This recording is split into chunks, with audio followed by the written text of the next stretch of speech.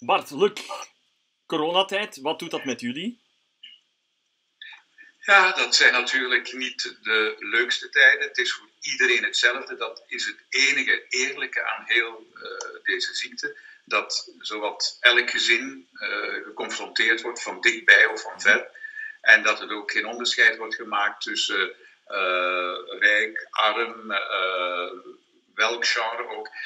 Eigenlijk moet het een wake-up call zijn. Ik had dat al heel snel begrepen, dat we misschien toch wel eens anders moeten gaan denken en leven. Ik herinner mij nog heel in het begin van uh, toen er sprake was dat er in Italië iets aan de hand was, maar hier nog helemaal lang niet, was er een, een Belgisch textielbedrijf, ik ga de naam niet noemen, en die zeiden, ja, jammer, onze leveringen van Italië kunnen niet doorkomen, maar geen probleem, we hebben alle, alles al geplaatst, alle bestellingen in Bangladesh en in India.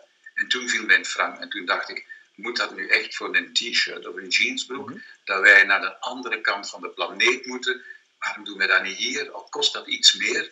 Ik bedoel, uh, ja, als dat het voordeel zou zijn van heel deze pandemie, dat we anders gaan leven, uh, en vooral dan ook economisch, en ook meer verbonden blijven met wat we hier hebben en mhm. zijn, dan zou dat fantastisch zijn. Maar het is natuurlijk voor de mensen die er nu mee geconfronteerd worden en die iemand moeten verliezen uit hun intieme kring, komt dat natuurlijk keihard aan. Hè.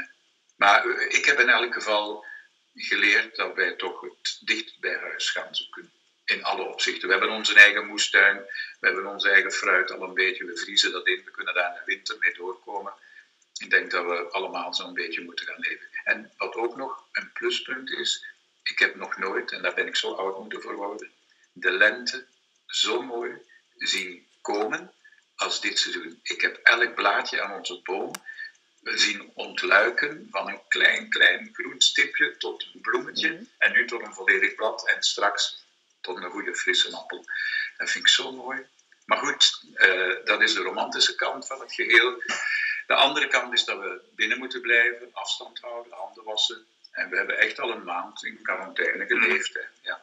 Het is ook wel, ik vind het moeilijk, maar dat zal niet alleen voor ons zijn, maar als je familie moet missen, allee, hè, mijn mama woont, mijn mama is 86 en ik, ben, ik probeer haar zoveel mogelijk te bellen of te skypen. Uh, maar goed, dat blijft toch, normaal neem ik mijn ma eens goed vast en geef ik haar een dikke zoen. Uh, dat zit er nu niet in natuurlijk. Uh, ik leg er ook uit, maar ik, moet, ik mag niet komen of ik heb een boete. Uh, allee, dat, dat kan ze heeft er wel alle begrip voor. Maar ze heeft er alle begrip voor en ze wordt goed. Allee, ze, ze doet zelf al de boodschappen allemaal zoals ze zeggen. Ik heb mijn, handschoentjes bij en ik heb dat bij en, allee, ze, en, een, gel, en een gel bij om mijn handen te ontsmetten. Dus heel, heel, erg, heel zelfstandig.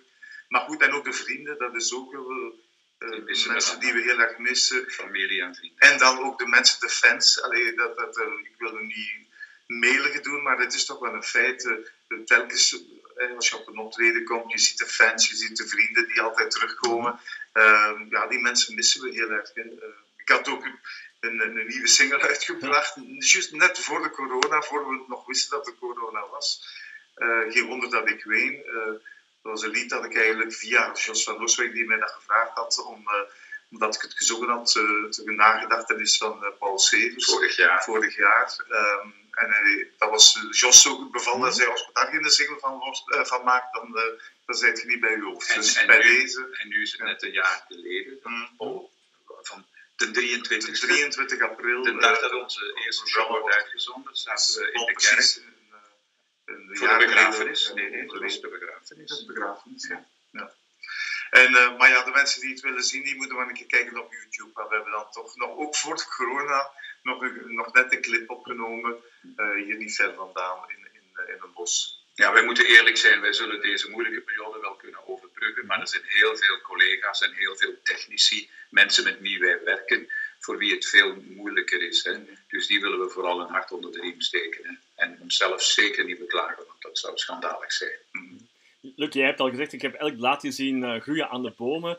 Bart, jij bent een freak in de tuin, om het zo maar te zeggen. Jij werkt heel graag in de tuin. Staat er ergens nog één sprietje onkruid bij jou? Uh, er staat links en rechts wel, dus uh, nou, toch, toch wel wat onkruid. Maar Dat doe je eh, niet zo graag, zeg maar eerlijk. dat- doe ik niet graag. nee. Het liefste wat je doet is planten en plukken. En al tussendoor Maar is ik van probeer, alles. ik probeer ook wat boomschors tussen de planten door te gooien. Dus dat, is ook goed. eh, Jij? Je laat het gooien. Maar goed, met mijn moestuin, daar staan toch al wel wat dingen in. Ik heb Ja. al van alles gezaaid. Zeg eens. Eh, in, in de serre staan toch van die, dat waren plantjes, tomatenplantjes staan er al. Ik heb sla, ik heb al radijsjes gezand, ik heb al de witte selder, eh, ik heb al lava's geplant en, eh, en eh, ja, wat heb ik nog? Een platte peterselie, wortelen? brieselook, wortelen heb ik gezaaid. Dus, dus dat begint ja, de eerste het werken zijn al gedaan in de moestuin, maar de, de andere helft dat moet nog komen. Zolang als er nog geen witte bomen zijn. Daar moet er niet mee afkomen. Dat wist ik niet. Dat is wel gezond. Hè? Ja, ik weet het, maar het is niks voor mij.